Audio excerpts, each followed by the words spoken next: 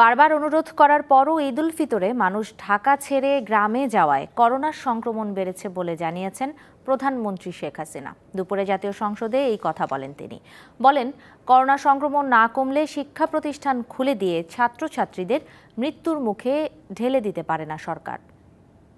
সদস্যবৃন্দ শনিবার দুপুরে জাতীয় সংসদের বাজেট অধিবেশনে সমাপনী বক্তব্য রাখেন প্রধানমন্ত্রী শেখ হাসিনা। বাংলাদেশ একটি আপন স্থান করে নিতে সক্ষম হয়েছে। দক্ষিণ এশিয়ার সবচেয়ে বেশি প্রবৃদ্ধি বাংলাদেশ অর্জন করেছে উল্লেখ করে তিনি জানান বর্তমান সরকারের লক্ষ্য একটি মানুষও গৃহহীন থাকবে না আর তা বাস্তবায়নেই কাজ চলছে। লক্ষ্য হচ্ছে বাংলাদেশে একটি মানুষও ভূমিহীন থাকবে না গৃহহীন থাকবে না সকলে শেখ হাসিনা বলেন গেল ঈদে যদি মানুষ যার যার জায়গায় অবস্থান করত তবে এত উদ্বেগজনক হারে করোনা ভাইরাসের সংক্রমণ হতো না। জনগণকে কত ঈদ উল ফিতরে বারবার অনুরোধ করলাম যে আপনারা আপনাদের জায়গা ছেড়ে যাবেন না।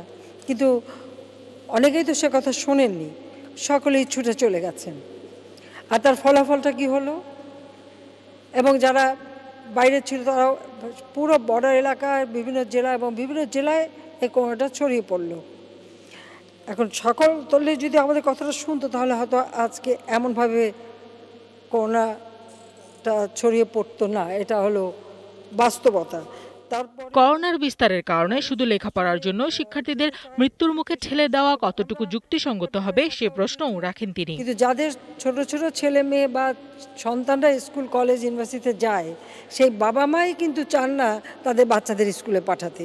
তবে এটা নিয়ে সব থেকে বেশি সোচ্চার যাদের ছেলেমেয়েরা স্কুলে যায়ই না পড়েই না পড়ার মতো ছেলে মেয়ে নাই তারাই বেশি কথা বলেন। কিন্তু যারা যায় তারা তো চাচ্ছেন না। আমরা জেনে শুনে লেখাপড়া শিখবে কিন্তু সেই লেখাপড়ার জন্য তাদের মৃত্যুর মুখে ঠেলে দেব কি না আমার মাননীয় সংসদ উপনেতা সেটা একটু বিবেচনা করবেন। আমি শুধু একটু বলব।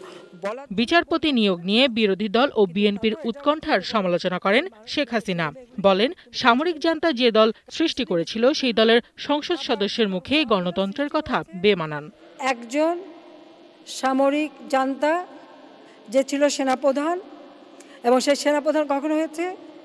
পনেরোই আগস্ট জাতির পিতা বঙ্গবন্ধু শেখ মুজিবুর রহমান বাংলাদেশের রাষ্ট্রপতি তাকে হত্যার যে পরিকল্পনা করা হয়, যার মূল শক্তি ছিল এই জিয়াউর রহমান। উদ্দীপনে ক্ষমতা এসে আবার রাজনীতিতে নামলেন। আর সেখানে এসে দল গঠন। আর সেই দলই হলো বিএনপি। বিএনপি, বাংলাদেশ না, পাকিস্তান হ্যাঁ। পৃথিবীর যেসব দেশে টিকা পাওয়া যাচ্ছে সবার সাথেই যোগাযোগ রাখছে বাংলাদেশ এমনটি জানিয়ে তিনি বলেন আশি ভাগ মানুষকে টিকার আওতায় নিয়ে আসবে সরকার। যেন কোনো মতে যেন সংক্রামিত না হন তার থেকে দূরত্ব বজায় রাখা। এটা করতে পারলেই কিন্তু আমরা নিয়ন্ত্রণ করতে পারব।